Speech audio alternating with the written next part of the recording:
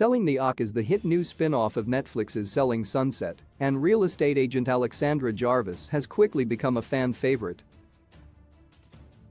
Like Selling Sunset, Selling the OC follows the lives of attractive young realtors trying to sell multi-million dollar properties in Southern California.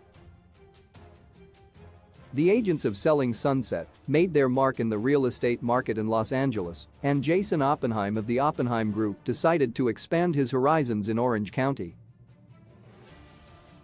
The cast of Selling the OC is made up of realtors who have been in the business for years as well as those who are just starting out.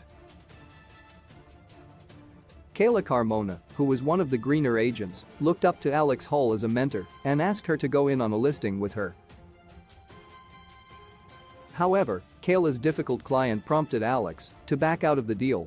Gio Helu was one of the most experienced sellers, but his arrogance rubbed Alex the wrong way. Polly Brindle, who prided herself in getting along with everyone, found herself at odds with Alexandra Jarvis. With so many strong personalities working together, there was bound to be drama in the Oppenheim Group office. Alexandra, whose only close friend was Alexandra Rose, found herself singled out by many of the realtors. However, Alexandra soon became a favorite of selling the OC fans. Reddit user UEDUCATIONALOUTSIDE5 wrote, Who are your favorite agents in selling the OC? Mine TURN it out to be Jarvis. Other fans agreed, and one replied, Jarvis for sure. At first I thought Jarvis and Rose were the bad guys, but it seems that everyone else are the bullies. Kinda made me mad. Many agreed that the two successful selling the OC realtors who worked together on listings were given the cold shoulder from the rest of the group and were excluded during many group activities.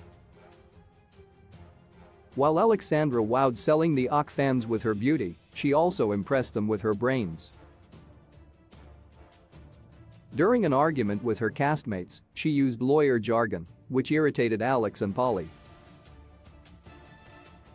Viewers thought the realtors were intimidated by Alexandra's education, as she has a law degree. One Reddit user wrote, Jarvis is amazing. I'm so tired of the girls mocking the way she talks, just because she uses big words. She's a lawyer, so what? I can't believe having an education is being used to insult her lol. Other viewers agreed and applauded her for keeping her cool and staying polite during fights with the other women. As Selling the OC fan responded, Jarvis is a rock star. She is always polite to all the yelling losers. With only 8 episodes in the first season, Selling the OC is easily bingeable. Fans have already picked out their favorites and are predicting who the cast villain will be.